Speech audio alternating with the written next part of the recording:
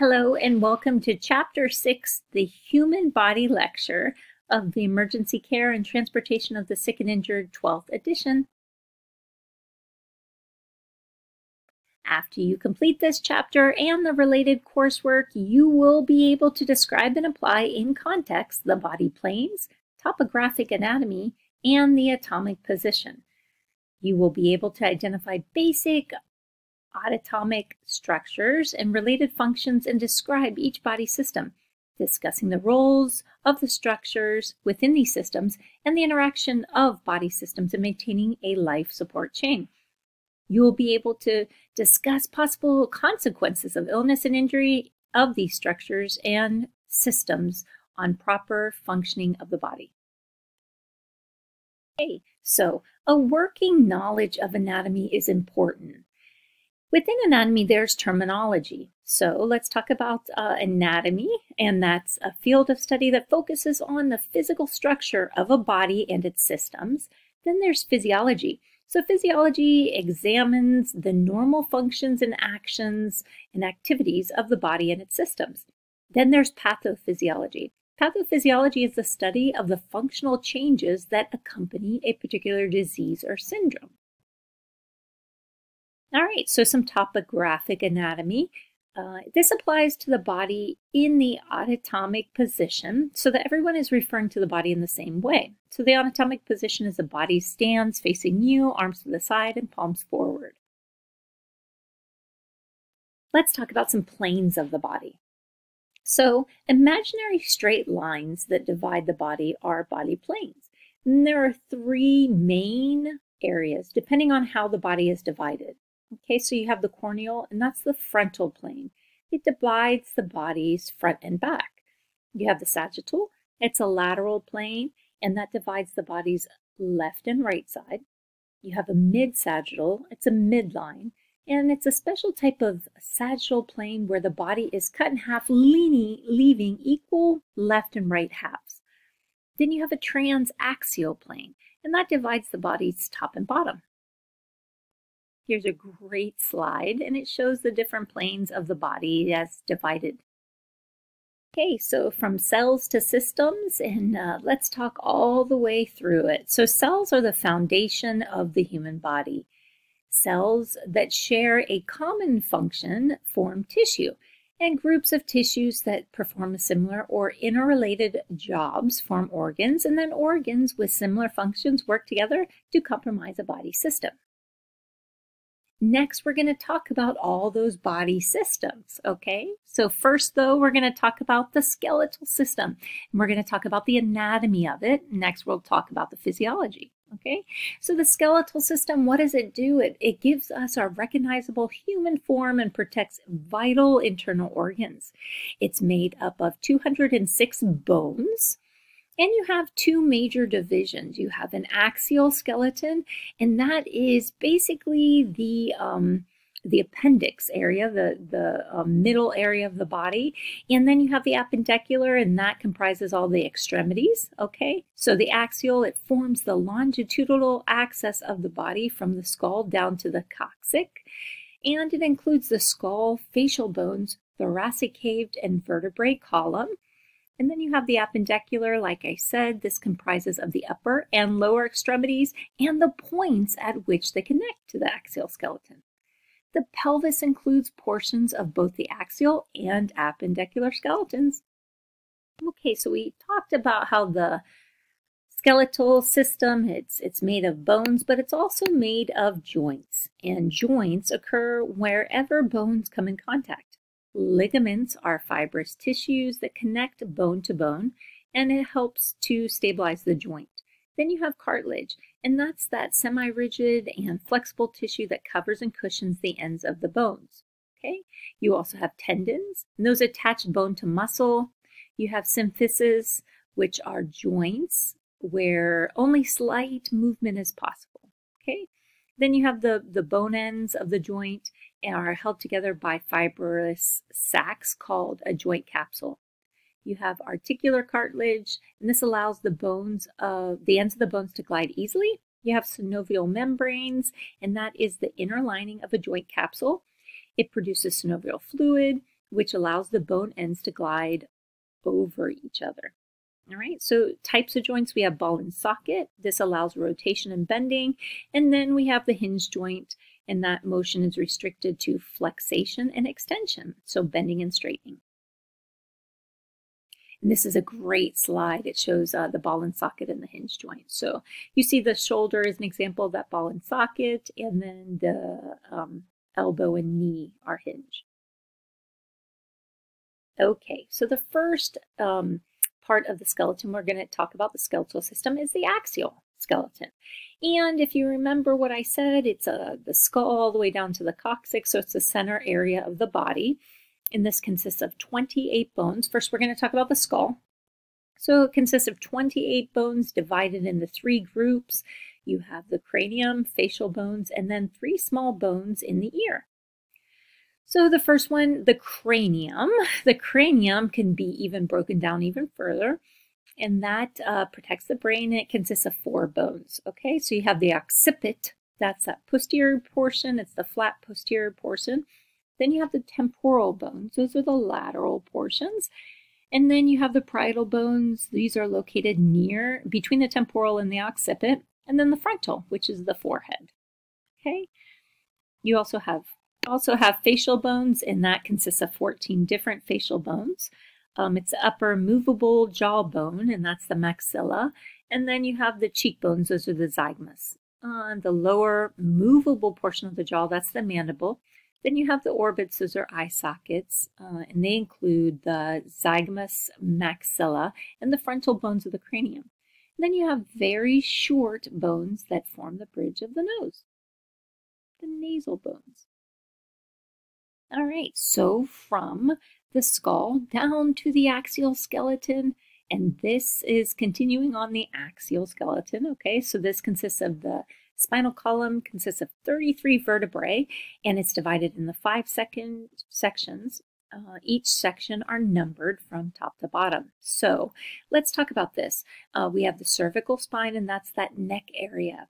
And uh, I like to say we uh, the numbers of the different areas are um, the, the times that we eat uh, during the day. Okay, so the cervical spine is that neck area. I say we eat at 7 a.m. If we get up early, we're eating at 7, okay?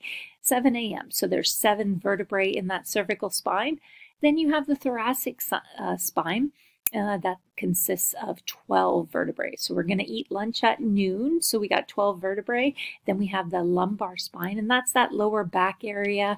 And we uh, we eat dinner at five, and then maybe we have a nine o'clock snack. All right, so 9 p.m. snack, and that's the sacrum.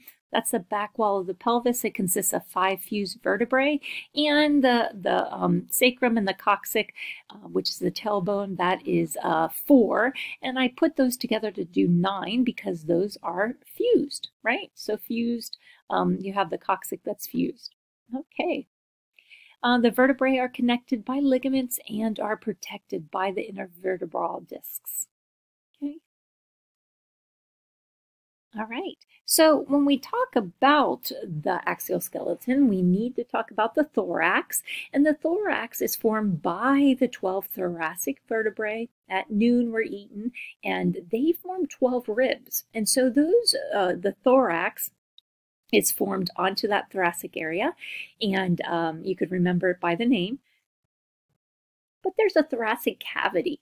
And this thoracic cavity contains very important stuff. Okay, so we um, inside the the ribs, it it basically is the protection for the heart, lungs, esophagus, and great vessels. Okay, um, it is the midline of the chest and um, is the sternum, which is made up by the manubrium body and the xiphoid process. All right.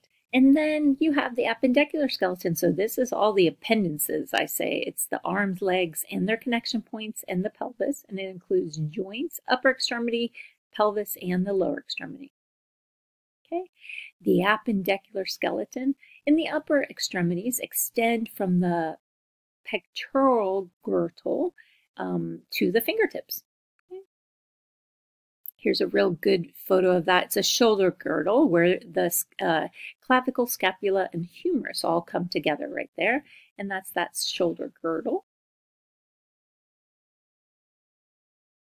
And then you have the arms, you have the humerus, and that's a supporting bone. Then the forearms, and that consists of the radius and ulna. Then the radius lies on the lateral aspect or the thumb side, and that's where you take that radial pulse. Then you have the ulna. The ulna is on the medial or the little finger side. Okay. Then once you get into the wrist, super easy to remember. Um, you have modified ball and socket, and uh, you could uh, figure that out by how you can move your your wrist, and it's formed by the ends of the radius and ulna and the wrist bones? Then you have five metacarpals, and they extend to uh, from the carpals and make up the hand. And the fingers are composed of phalanges, okay? So metacarpals, uh, phalanges, so carpals, metacarpals, phalanges.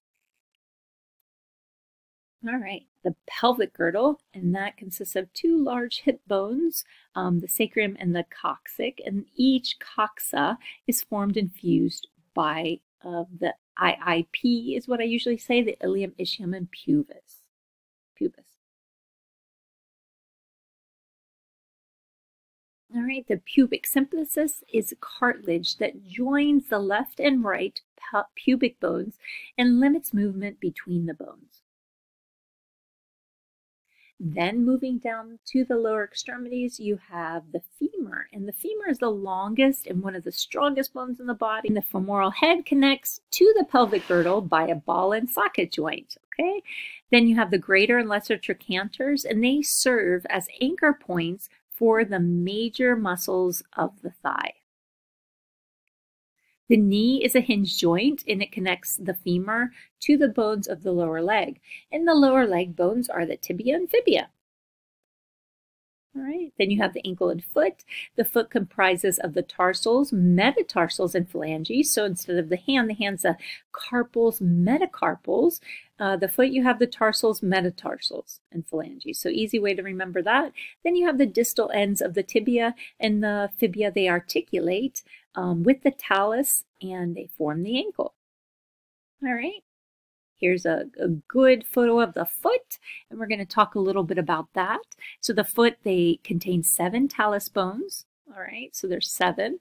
And um, there we go. And the talus and the uh, calculus, calcanus are the largest bones, and the, the talus joint with the distal tibia and fibia to form the ankle joint. And um, there's five metatarsal bones, form the substance of the foot. So the plantar surface or the bottom of the foot, and then you have the dorsum, the top of the foot, and you have five toes formed by 14 phalanges, two phalanges in the big toe, and three phalanges in each of the smaller toes. All right, so the skeletal system's physiology. So we're going to talk a little bit about that and how that works. So the skeletal system gives the body its shape, it protects fragile organs, allows for movement, stores calciums, and helps create blood cells. And the musculoskeletal system provides form, upright posture, movement, protection, and vital internal organs. Okay, so let's talk about this. There's three types of muscular or of muscles, and that's the skeletal, smooth, and cardiac. Okay, so the skeletal system attaches to the bones of the skeleton and forms the major muscle mass of the body. And this is known as voluntary muscle because it's under direct voluntary control of the brain. So the skeletal muscle, you, you're able to pick stuff up and put stuff down. That's how I think of it. Okay. Um, the smooth muscle and cardiac muscle, though, they do not require constant thought. They are said to be involuntary. All right, so smooth muscle is found within the blood vessels and intestines. Uh, and cardiac muscle, well, where's that found? You got it. That's found in the heart. So this figure shows the major muscles of the human body. So let's talk a little bit about the musculoskeletal system and what it does. So it contracts, uh, contraction and relaxation of the skeletal system make it possible to move and manipulate the environment. A byproduct of the skeletal system is heat, and when you get cold, you shiver. That's an involuntary shake of the muscles to produce heat. Another function of muscles is to protect the structures under them. All right, so moving right through the systems, now we're already into the respiratory system. So let's talk about the anatomy. You have the respiratory system, and it's responsible for breathing or respiration and exchange of oxygen, carbon dioxide within the lungs. The respiratory system is divided into the upper respiratory system and the lower respiratory system.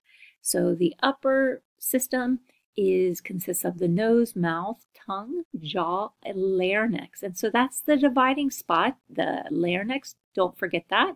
And that divides the upper and lower. It is in the upper. All right. Um, and then we're still talking about the upper. We have the pharynx, the trachea, and the epiglottis. Okay, then you have the lower airway. So you have the thyroid cartilage, that's the Adam's apple. Um, that uh, forms the anterior part of the larynx. And then you have the cricoid cartilage. You have the cricoid-thyroid membrane. Then you have the trachea below the cricoid cartilage. And the trachea ends at the carina. And it divides into the right and left main stem bronchi, which enter the lungs and branch into even, even smaller airways. At the lungs, you have two lungs. They're held into place by the trachea, and then the artery and mm-hmm. veins, and you have pulmonary ligaments. Okay, so each lung is divided into two into lobes. The right one has three, so the right lung has three, an upper, middle, and lower, and then the left has two, just an upper and lower. Each lung is divided into lobes, which I just talked about, but within the lobes are bronchi and bronchioles, and um, that which end at the alveoli. Okay, so the alveoli, that's where the magic happens. That's uh, that's the gas exchange, and where what exchanges is oxygen and carbon dioxide. All right, so let's talk about some mechanisms that allow us to breathe.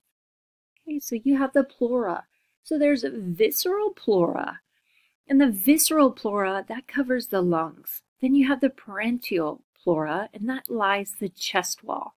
Okay, so a thin layer of fluid uh, helps them uh, facilitate movement of the lungs. Okay, and then you have the pleural space, and that is a potential space between two pleura, between the two pleura. Okay, and this is a good figure. It shows the structure of the lungs and what we just talked about. So a little bit more, we're going to talk about the muscles of breathing. So the diaphragm is a primary muscle of breathing. This contains voluntary and involuntary muscle. Okay, so it has cervical muscles, intercostal muscles, abdominal muscles, and pectoral muscles also help us aid in breathing. The big one, though, is the diaphragm. So let's talk about inhalation. When we inhale, the diaphragm and intercostal muscles contract and this makes a large space in that thoracic cage. And because there is that large space in that cage, the thoracic cavity decreases and the lungs fill. So negative pressure ventilation. Because the diaphragm does contract, this is an active part of the respiratory cycle. We say that it takes energy to do, okay? With exhalation though, it's passive and it's a passive portion and the diaphragm and the intercostal muscles basically relax. And when that happens, the, the thoracic cavity returns to its normal shape and volume, and air just flows out. It's passive, no energy involved. All right, so let's talk about the physiology of the respiratory system. So the respiratory system's function is to provide the body with oxygen and eliminate carbon dioxide. Ventilation and respiration are two separate yet interdependent functions of the respiratory system. Okay, so ventilation is the movement of air between the lungs and the environment. So think about when you ventilate somebody with a bag valve mask, that's basically what you're doing. And then respiration, that of course is the exchange of oxygen and carbon dioxide in the alveoli and in the tissues of the body. So let's talk about respiration. Oxygen and carbon dioxide move across the membrane between the capillaries and the alveoli via diffusion. So what is diffusion, you say? Diffusion is the passive process in which molecules move from one area with a higher concentration of that molecule to an area of a lower concentration. Okay, so when we talk about breathing, there is a chemical control for it. what happens is the brainstem controls breathing by monitoring levels of carbon dioxide in the blood and spinal fluid. All right? So, breathing is automatically controlled in the level of carbon dioxide or oxygen in the arterial blood, and if it's too high or too low. So, breathing occurs as a result of buildup of carbon dioxide in the cerebral spinal fluid, which causes the pH to decrease. All right, so it sounds like a lot, but it's not. The medulla oblongata is stimulated by the phrenic nerve, and so this phrenic nerve causes the diaphragm to contract. And the primary reason for breathing is to lower carbon dioxide levels next to um, levels, not to increase the oxygen levels. So we want to lower the carbon dioxide levels, not increase the oxygen. However, when somebody has an increased level of carbon dioxide built up in their system for years, they switch to a different drive. Okay, so these are the chronic obstructive pulmonary patients. They switch to what's called a hypoxic drive. This is known as a backup system to control respiration. The stimulus to breathe is from low oxygen levels. Okay, that's the hypoxic drive. The nervous system controls the breathing. And so when when it when we talk about that, we already mentioned the medulla oblongata, and that is the uh, responsible for initially uh, initiating the ventilation cycle. It's primarily stimulated by high carbon dioxide levels, just what we said, and it helps control the rhythm of breathing. The initial inspiration, it sets the base pattern for respiration and sends a signal to the diaphragm via the phrenic nerve. Okay. Then we have the pons. The pons has two areas which help the respirations during an emotional and physiological uh, stress. Okay, physical stress. This helps change the depth of inspiration, expiration, or it could change both. Okay, so we let's talk about ventilation. There's a couple different um, keywords that you should know. Um, and the first one is going to be tidal volume. And so that's the amount of air that is moved in and out of the lung with a single breath. Okay, so generally about 500 milliliters in an adult. It's the inspiratory reserve volume is the deepest breath you can take after a normal breath. Then you have the expiratory reserve volume, and that's the maximum amount of air that you can forcefully breathe out after a normal breath. Then you have residual volume. So you have a residual amount of, uh, of gas remaining in the lungs after uh, exhalation. Then there's some dead space. And this is the portion of the respiratory system that has no alveoli and little to no gas exchange. All right, now that you've heard all of those definitions, next let's talk about minute volume. Okay, so minute volume. Minute volume is basically used to assess the adequacy of ventilation. And so what you do is the amount of air that moves in and out of the lungs in one minute. So the minute volume is equal to the respiratory rate times the tidal volume. Okay? So let's talk about some characteristics. So we want to have a normal rate and depth, normal tidal volume, right? So we want to have a regular rhythm or pattern of inhalation and exhalation. We also want to have clear, audible breath sounds or both on both sides of the chest. So bilateral, clear, audible breath sounds. We want to have regular rise and fall movement on both sides of the chest. And we want to have movement of the abdomen inadequate breathing patterns, though, you could have labored breathing, you could be breathing slower than 12 a minute or more than 20 a minute. And some additional signs is you could have muscle retractions above the clavicles, between the ribs, or below the rib cage. Somebody could look pale or have cyanotic skin. They could be cool, damp skin, or in that tripod position. Okay, all right, so we talked about the respiratory system. Now we're going to talk about the circulatory system next. And this is a great system. The circulatory system, it's also known as the cardiovascular system and is a complex arrangement of connected tubes. Okay, so we have the art arteries, arter arterioles, capillaries, venules, and veins. There are two circuits. so we have a systemic circulation, which is the oxygen rich blood from the left ventricle through the body and back to the right atrium. And then we have a pulmonary uh, circulatory system, and that carries oxygen poor blood from the right ventricle through the lungs and back to the left atrium. And this figure shows the circulatory system. Okay, so this is a, a good, uh, good photo. And when you see the blue blood, that's deoxygenated blood. When you see red, that's oxygenated, the right side versus the left side. Okay, you can't talk about the circulatory system unless you talk about the heart. So that's what we're going to do next. And this is an involuntary muscle. It's made of cardiac muscle, and that cardiac muscle is called myocardium. And thank goodness it's involuntary. That means we don't have to think about it to, to beat, right? And it works on basically with two paired pumps. Each side is divided into the left side of the muscle, and that is high pressure on that left side. And then you have the right side, and that is a thinner muscle, and that's a low pressure pump. The top of the heart is called the atrium, and the bottom chambers are the ventricles. So to circulate, the heart receives its blood from the aorta via the coronary arteries, and the right side of the heart receives deoxygenated blood from the veins of the body. The oxygenated blood returns from the lungs through the pulmonary veins into the left side of the heart and is pumped into the aorta and then to the arteries of the body. Valves guide the blood, uh, the path of the blood through the heart. Okay, this is a great slide. It shows um, the right and left sides of the heart.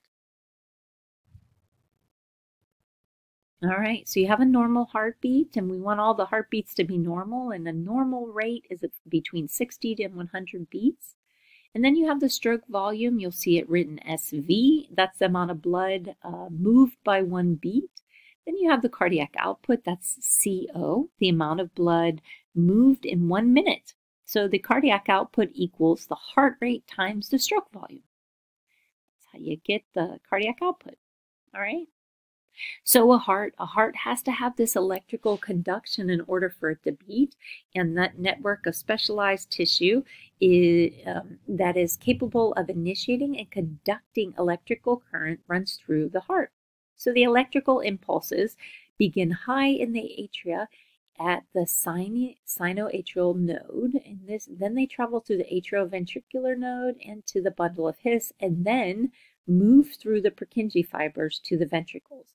This movement produces a smooth flow of electricity, producing a coordinating pump action. And if injured, that electrical system, the heart will not beat properly. Okay, so then let's move to the arteries. The arteries, they're high pressure. If you cut an artery, it's going to spurt, and they carry blood from the heart to the body tissues. This is oxygenated blood. Um, the big main one is the aorta. That's the biggest tube. It's the main artery, and it leaves that left side of the heart, and it carries fresh oxygenated blood to the body. Has many branches, and these branches supply vital organs. Okay, and so those are the vital organs you can see on the slide. Um, you have the uh, coronary arteries, the carotid, hepatic, renal, and mesenteric arteries. Okay. And then you have the pulmonary arteries, and these, uh, the pulmonary artery is the only deoxygenated arteries um, in the body other than in the um, neonatal um, area. So the pulmonary arteries, it originates at the right ventricle, then it carries oxygen poor blood uh, back to the lungs. Okay, so pulmonary arteries are deoxygenated. Then you have arteries, uh, they branch into smarter, smaller arteries and then finally into arterioles. And when the arterioles branch into a series of increasingly smaller vessels until they connect to a vast network of capillaries. And that is where the CO2 exchange occurs. All right. Your pulse is created by the forceful pumping of blood out of the left ventricle into those major arteries. You could palpate most easily at the neck, wrist, and groin. And this is going to show the major arteries of the body, this slide. All right, so then we got down to the capillaries at the very tiny level. And that's those tiny little blood vessels that connect arteries to venules. Oxygen and nutrients pass from the blood cells and plasma into capillaries to individual tissue cells through a thin, very thin walls of capillaries. Capillaries allow blood to move into them one cell at a time. All right, so we've gotten our oxygen into our cells. Now let's talk about returning from our cells. And we have to talk about the veins. These are the blue areas. They're oxygen depleted blood, and it's going back to the heart. Okay, so they have thinner walls and arteries and are generally larger in diameter. You have major veins, and these major veins are the superior vena cava. They carry blood returning from the heart, neck, shoulders, and upper extremities. Then you have the inferior. So, of course, just how it sounds, it carries blood from the abdomen, pelvis, and lower extremities. All right. So you have systemic vascular resistance and the resistance to blood flow within the blood vessels, uh, except the pulmonary vessels, of course. Okay. All right, so we have to talk about the spleen when we talk about the circulatory system. It's a solid organ. It's located under the rib cage on that left upper portion of the abdomen. It filters worn out blood cells, foreign substances, and bacteria out of the blood. It's highly vascular and is particularly susceptible to injury from blood trauma. So, and then we have to talk about the blood composition, of course, when we're talking about the circulatory system. So it has four major things composed of plasma, red blood cells, white blood cells, and platelets.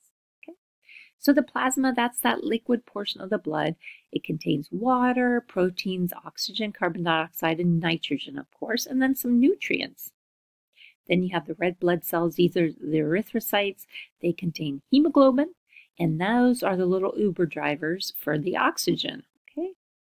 Then you have the white blood cells. These are leukocytes, and they play a role in the body's immune system defense, and they fight the infection. Those are the fighters. And then the platelets, of course, those are the partiers. They all want to hang out together.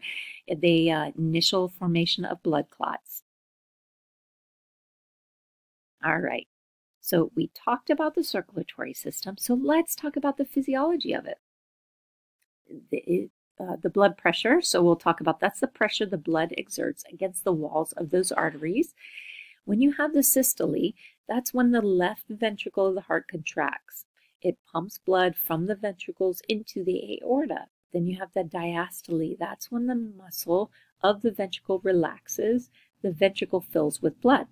So systolic, diastolic, taking the blood pressure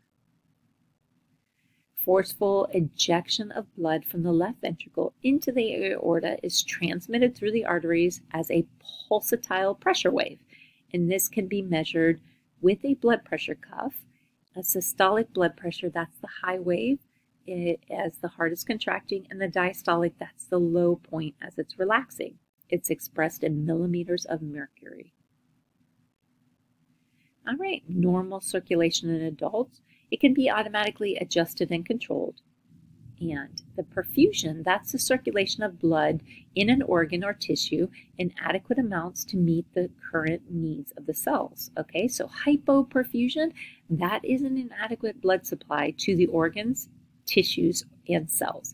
And we call this shock. So hyperperfusion is also known as shock. Inadequate circulation in adults. So we said that it can be adjusted. The system can adjust to a small amount of blood loss. So what happens is the vessels are going to constrict, the tubes of the body or the vessels are going to constrict, and the heart is going to pump faster. So with large blood loss, though, the adjustment might fail and the patient is going to go into shock. And what happens is the mean arterial pressure can help detect shock. All right, so the average arterial pressure during systole and diastole, and basically it's the um, map, so the mean arterial pressure equals the cardiac output times the SVR. All right, so functions of the blood. Let's talk a little bit about that. And function blood fights it fights infection. It transports oxygen, transport carbon dioxide. It controls pH. It transports waste and nutrients, and it also um, coagulates. Okay, so we've moved from the circulatory system. Now we're in the nervous system. Um, oh, actually, we're going to talk about the, the nervous system control of the cardiovascular system, and then we'll move into the nervous system. So let's talk about its control on the cardiovascular system. All right, so we have the sympathetic nervous system, and uh, basically two types. We have a sympathetic and a parasympathetic, but the sympathetic is that fight or flight response. And what happens is it sends commands to these adrenal glands that we have, and uh, when it sends that signal, epi and norepi are secreted, and it stimulates heart and mus and the blood vessels. Okay, so the nervous system controls um, that fight or flight response. So the sympathetic nervous system, so the heart and blood vessels have these things called alpha adrenergic receptors and beta out adrenergic receptors. And the adrenergic adrenergic means uh, related to the adrenal glands where the epi and norepi are made. The alpha adrenergic receptors are found in blood vessels. And so when they're stimulated, blood vessels contract.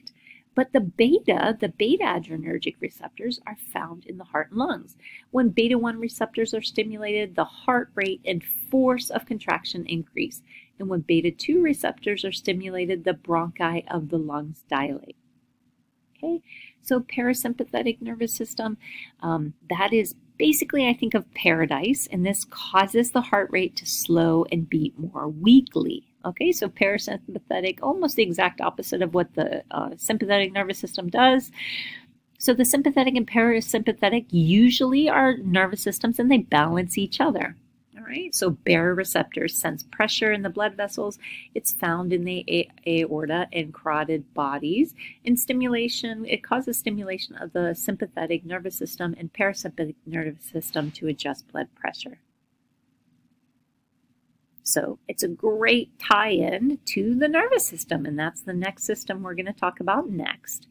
And you have anatomy and physiology, and of course, we'll talk about that the nervous system is perhaps the most complex organ system in the body. All right, so just like the um, skeletal system divided into two aspects, so is the um, nervous system and it's it's divided into two main portions. We have the central nervous system and you'll see it written CNS and that is the brain and the spinal cord almost just like the um, the skeletal system, right? And then you have the peripheral nervous system and that's all the nerves outside that brain and spinal cord. The peripheral nervous system is divided again into the somatic nervous system and that regulates voluntary control Sounds a lot like muscles, right? So voluntary control, pick stuff up, put stuff down. Then you have the autonomic nervous system, and that controls functions that occur automatically. So what are those? All right, so that's all the tubes in the body, the smooth muscle, and the cardiac, right? All right, so let's talk about this nervous system. The nervous system controls the brain, there's three different parts that we're going to divide the brain into, right? So the cerebrum, and that's the largest part of the brain. Surface is made up of neurons. It's responsible for higher brain function, and it can be divided into halves or hemispheres. Each hemisphere has four lobes.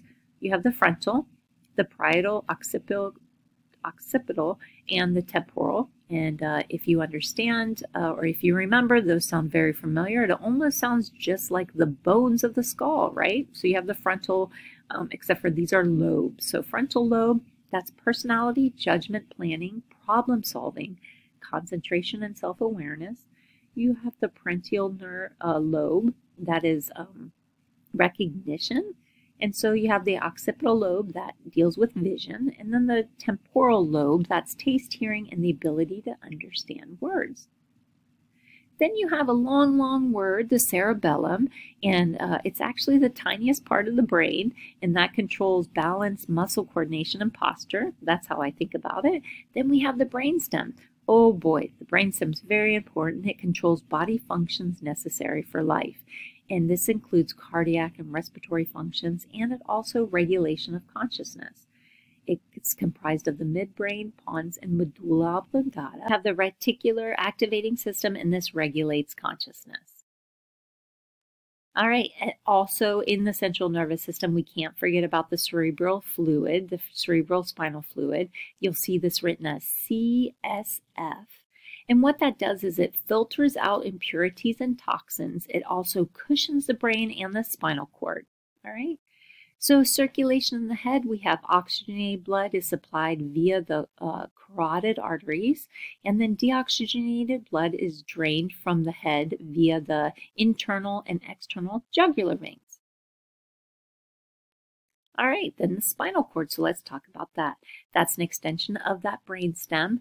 It leaves the skull via the foramen magnum, and it's encased within the vertebral column it uh, ends at the level of the second lumbar vertebrae, and um, primary function is to transmit messages between the brain and the spinal cord. And then we have the peripheral nervous system. Okay, so we have that central nervous system. Now we have the peripheral, and it's divided into two parts, just like we talked about earlier the voluntary and involuntary. We have the somatic nervous system. This transmits signals from the brain to the voluntary muscles. Okay, and then it allows for activities such as walking, talking, and writing. Then we have the autonomic nervous system. These are involuntary. And we talked about that. That's the sympathetic and the parasympathetic. Remember the fight or flight or the um, paradise system, the relax, chill. Okay, so within this peripheral nervous system, we have two types of nerves. We have sensory nerves and motor nerves. So the sensory nerves, they carry info um, from the body to the CNS, to the central nervous system, and then we have motor nerves, and those motor nerves carry information from the brain to the muscles. Okay, and now we're going to go on to the skin system or the integumentary system. Okay, and there are two layers of the skin. And there's the epidermis and the dermis. So the epidermis is the superficial layer, and that's a, it, its function is uh, to seal it, make it watertight, it's almost like a protective covering. It's composed of layers, and you have the dermal layer, uh, stratum corneum layer, then the skin cells are constantly being replaced in this uh, epidermis, okay? Then you have the dermis, it's deeper, and uh, this contains special structures of the skin, the sweat glands, the um, sebaceous glands, hair follicles, blood vessels, and mucous membranes. Below the skin lies the subcutaneous tissue, and that's a layer of fat that serves as an um, ice uh, insulator and as an energy reservoir. This is a great slide. It shows a really good picture of those layers, the epidermis, dermis, and the subcutaneous. All right, so the integumentary system, the physiology. So we're going to talk about um, the skin is the largest single organ on the body, and it has three major functions. What it does is it protects the body from the environment, it regulates body temperature, and then it transmits information from the environment to the brain. Okay, all right, so we're going to move right in. We're going to go into the digestive system. And uh, what does it do? So, this is also called the gastrointestinal system. And the components of it are the abdomen and organs and the vascular structures. So the abdomen contains major organs of the digestion and excretion, and quadrants are easily the easiest way to identify these areas, okay? And so you're going to uh, divide it into four quadrants. You have the upper right quadrant. In the upper right quadrant, it contains the liver, gallbladder, and a portion of the colon. And then the upper left, that contains the stomach, spleen, and the portion of the colon. And then the right lower, that contains a portion of uh, the large intestines. Then the lower left, that contains the descending uh, and sigmoid portions of the colon. Okay. The small intestines, pancreas, large intestines, and urinary bladder lie in more than one quadrant. The kidneys and pancreas lie behind the abdominal cavity, and we say that that is retroperitoneal. So the kidneys and pancreas are retro behind the peritoneal, the abdominal cavity. This is a great slide. It shows those quadrants, the four quadrants of the abdomen. Okay, so we have to talk about the digestive system though. Um, even though we've already talked about some of the organs, let's start with the beginning, and that's the mouth. And that consists of cheeks, lips, gums, teeth, and tongue, the hard palate and soft palate, the salivatory glands, and uh, uh, two sets. So on each side of the mouth and in the front and each, Each ear you have saliva is approximately 98% water and 2% mucus and salt and organic compounds. From the mouth, we move into the oral pharynx, and this is a, a tube structure that extends from the back of the mouth to the esophagus and trachea. Then you have the esophagus. And the esophagus is the tube. It's about 10 inches and it extends from the end of the pharynx to the stomach. The muscles of the walls of the esophagus propel food down into the stomach. Then you have the stomach, it's a hollow organ. In that left upper quadrant, it receives food, stores it, and produces, uh, provides for movement of the food into the bowel. You have the pancreas, which is retroperitoneal. It is a flat, solid organ that lies below and behind the liver and stomach. There are two portions. We have an exocrine and an endocrine.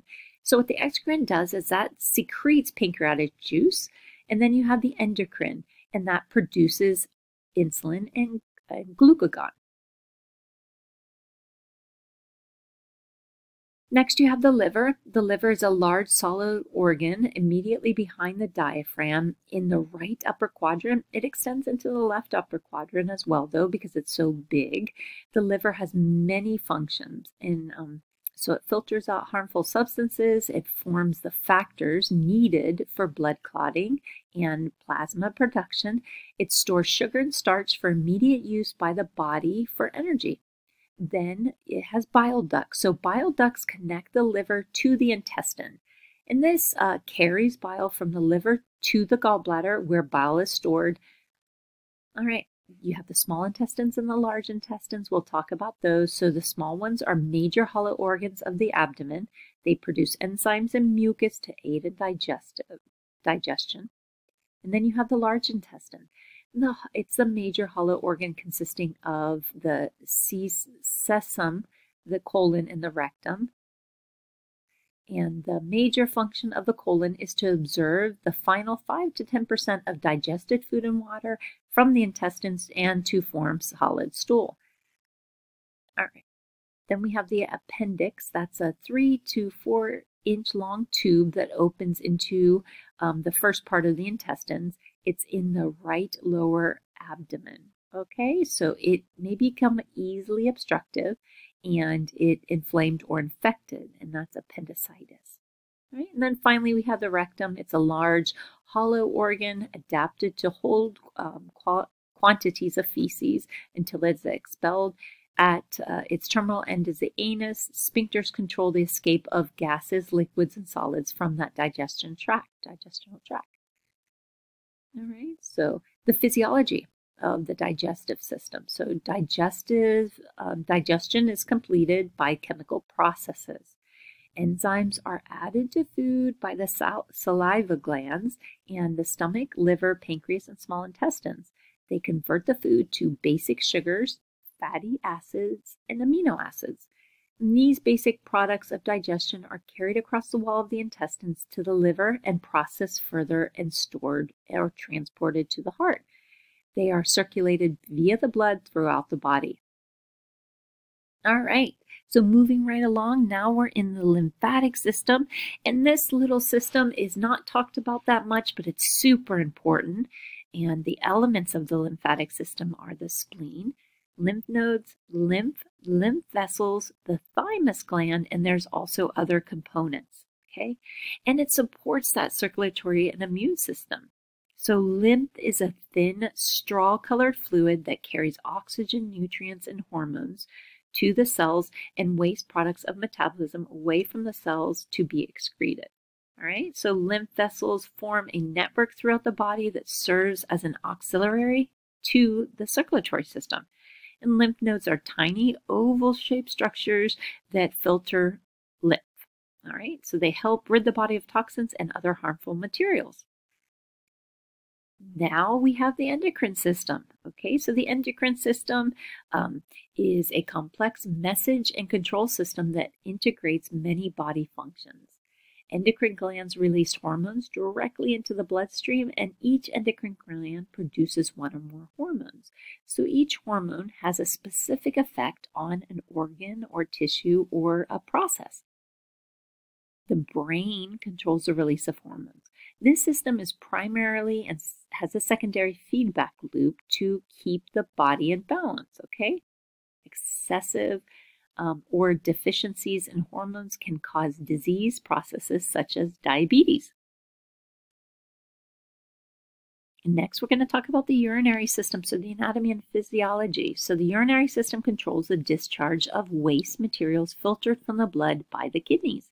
The main functions of this system are to control fluid balance, filter and eliminate waste, and to control the pH. The kidneys are two solid organs. They lie in that retroperitoneal space with the pancreas. They rid the blood of toxic waste products and control the balance of water and salt.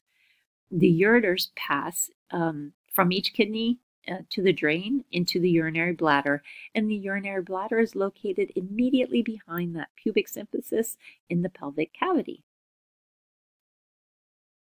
All right, then you have the genital system. So we're going to move right through. The genital system controls the reproductive processes by which life is created. So the male reproductive system consists of the testes, epididymis, vas deferenti, prostate gland, seminal vessels, and penis. It lies outside the pelvic cavity and except for the prostate gland and the seminal vesicles. Okay, so this figure shows the organs of that male reproductive system. The female reproductive system uh, consists of the ovaries, fallopian tubes, uterus, cervix, and vagina. It's contained entirely within the pelvic cavity, except the clitoris and labia. Okay, and there's uh, on this figure, uh, it shows the organs of the female reproductive system. Okay, so let's talk about the life support chain. And the cells are the foundation of the body, and we talked a little bit about that in the beginning. The cells require oxygen, nutrients, and removal of waste. So the respiratory and circulatory um, are the carriers of these supplies. All right, and so if there's any interference, uh, cells become damaged and they die. And so when cells, they use oxygen to take available nutrients and they turn them into chemical energy. And this is through metabolism. All right. So the ATP or adenosine triphosphate is used for energy metabolism and storage. This is an aerobic metabolism and that uses oxygen. When cells switch from a to an anaerobic metabolism, um, when oxygen is limited. And so what happens in that anaerobic metabolism? Lactic acid is damaging um, waste product of this process. So then you have as lactic acid and other waste accumulate around the cells, the area becomes toxic and eventually the cells can die. Okay, so movement of oxygen and waste and nutrients occurs by diffusion, and pH is critical to diffusion. The body expends a large amount of energy to maintain normal pH. So we've talked about the anatomy. Let's talk about the pathophysiology of this a little bit. So in this study of the functional changes that occur when the body reacts to disease, respiratory compromise is the inability of the body to move gas effectively. So this can lead to hypoxia. And what hypoxia is, is a decreased level of oxygen in the body or hypercarbia, and that's elevated levels of carbon in the body. All right, so factors uh, that might impair ventilation. So think about anything that might keep ventilation from happening. And this could be a blocked airway, or maybe the muscles of the breathing are damaged. Um, by some type of um, neuromuscular disease or trauma, or perhaps the airway is obstructive. So maybe they're having an uh, asthma attack, or maybe it's a drug overdose, or trauma to the chest wall, or an allergic reaction or maybe perhaps some change in atmosphere, or high altitudes, or impaired gas, uh, uh, impairment of movement of gas across that cell membrane. And you could also have a ventilation perfusion mismatch. And so what happens is this ratio describes how much gas is moved across effectively through the lungs and how much blood is flowing around the alveoli. And so a mismatch occurs when one of these two variables is abnormal. So let's say there's a pulmonary emboli, and that's preventing blood flow, okay? And so, or you could have edema, so some fluid inside the alveoli that's keeping oxygen, the oxygen exchange from happening, or when either the um, ventilation or the perfusion is impacted, respiratory compromise can occur. Okay, so respiratory compromise and its effect on the body. Of course, we talked a little bit about that. What's going to happen is oxygen levels throughout the body is going to fall. Carbon dioxide levels are going to rise, and the brain is going to detect an increase in those levels. The body increases the respiratory rate in an attempt to return the carbon dioxide levels to normal. If increased respiratory rate does not occur, or if it's not effective, in returning those carbon dioxide levels to normal, the blood will become more acidotic. So what happens is blood oxygen levels will begin to fail, um, will begin to fall, and this may cause the brain to use further commands to breathe. All right, so then decreased oxygen levels will force cells to move from that anaerobic into that anaerobic, so move from an aerobic into the anaerobic metabolism. And what occurs is shock a condition in which organs and tissues receive an inadequate flow of blood and oxygen. Impaired oxygen delivery causes cellular hypoxia, which leads to anaerobic metabolism, and that leads to lactic acid production, and then finally organ dysfunction. Shock is characterized into several types depending on the cause. Okay? The effects of shocks on the body can be similar to the effects of respiratory compromise. The level of oxygen supplied to the tissue fails, cell damage and cells get engaged in anaerobic metabolism, and of course we said this re results in lactic acid production. Then you have the baroreceptors, and that detects decreased blood pressure and initiates the release of epi the heart rate increases, the heart beats more forcefully, and then blood vessels contract, and interstitial fluid moves into the capillaries. When there is an adequate oxygenation, cells will create energy through the anaerobic metabolism. And we talked a little bit about that, right?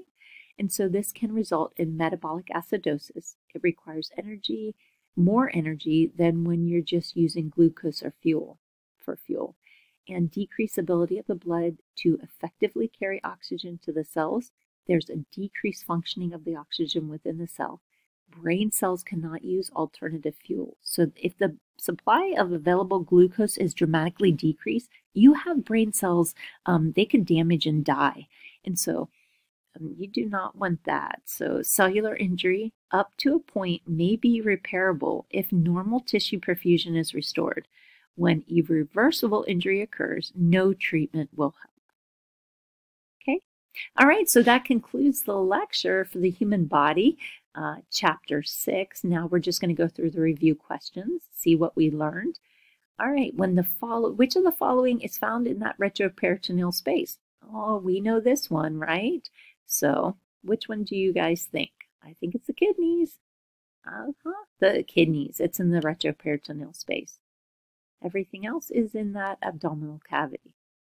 All right, so the, cartilaginous, the cartilaginous tip of that sternum is called, and we think that that is called the xiphoid process, right? The xiphoid process is that lower part of the sternum, and we use that as an indicator for the CPR, right? The xiphoid process. A person with bilateral, both sides femur fracture has, so what do we think? fractured on both of his or her femurs. B. Bilateral. All right. The most prominent landmark on the anterior surface of the neck, and we probably didn't talk about this, but that's going to be the Adam's apple. And the Adam's apple is also called the thyroid cartilage. Okay, so that thyroid cartilage, that is the prominent landmark on the anterior, the front surface of the neck right? And insulin is produced in the, where do we think it's produced? We know it's produced in the pancreas. So it's, uh, pancreas is that solid organ and it produces insulin and digestive juices. All right. Blank connects muscle to bone. So how are we going to remember this? Tendons. Muscle to bones are the tendons. Ligaments are bone to bone. Okay? All right, the normal resting heart rate is in an adult is, let's see, I think they're going to say it's 60 to 100.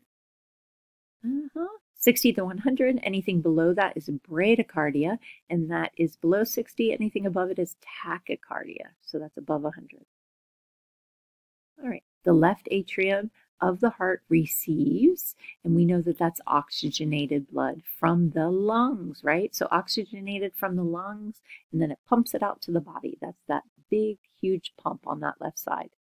All right, left is oxygenated from the lungs. The largest part of the brain is the, so the largest part of the brain is the smallest word, and that's the cerebrum. Right, the three parts, it's divided, cerebrum, brainstem, and cerebellum. The largest is the cerebrum. Which of the following statements about red blood cells is false? All right, they contain iron, oxygen, they help fight infection, or they give us our color. And we know the fighters are the white blood cells, so we think it's C. Okay, so C the um, uh, is right. So the white blood cells are the fighters. Okay, well that concludes the um, questions for chapter six. And uh, thank you for listening, and I hope you've enjoyed it.